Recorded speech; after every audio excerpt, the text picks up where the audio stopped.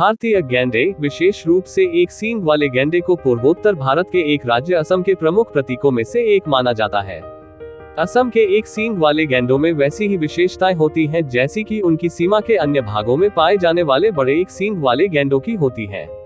उनके थूथन पर एक ही सींग होता है, जो काफ़ी लंबा हो सकता है, और उनकी भूरी भूरी त्वचा गहराई से मुड़ी हुई होती है, जिससे उन्हें एक अलग रूप मिलता है ये गेंडे शाकाहारी हैं, मुख्य रूप से घास पत्ते फल और जलीय वनस्पति खाते हैं। सांस्कृतिक महत्व एक सींग वाला गेंडा असम के सांस्कृतिक ताने बाने में गहराई से समाया हुआ है।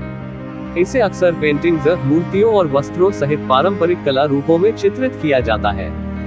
गेंडे को असमिया लोक कथाओं और परंपराओं में इसके महत्व को प्रदर्शित करते हुए लोक नृत्यों गीतों और कहानी कहने में चित्रित किया गया है।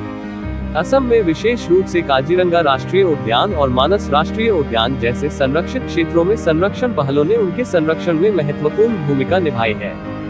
इन पाकों ने गेंडों की आबादी की सुरक्षा के लिए सख्त अवैध शिकार विरोधी उपायों और आवास संरक्षण रणनीतियों को लागू किया है।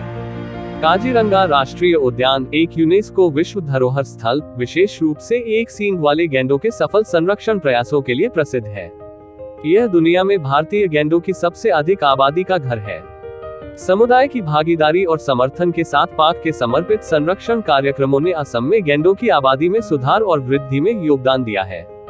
असम का एक सींग वाला गेंडा महान सांस्कृतिक और पारिस्थितिक महत्व रखता है। यह क्षेत्र में एक प्रतिष्ठित प्रजाति है और असम में वन्य जीव संरक्षण के प्रयासों का प्रतीक बन गया है। चल रही संरक्षण पहल का उद्देश्य उनके आवासों की रक्षा करना, खतरों को कम करना और असम में एक सींग वाले गेंडों के दीर्घकालिक अस्तित्व को सुनिश्चित करना है। अधिक जानकारी के लिए इस चैनल को सब्सक्राइब करें।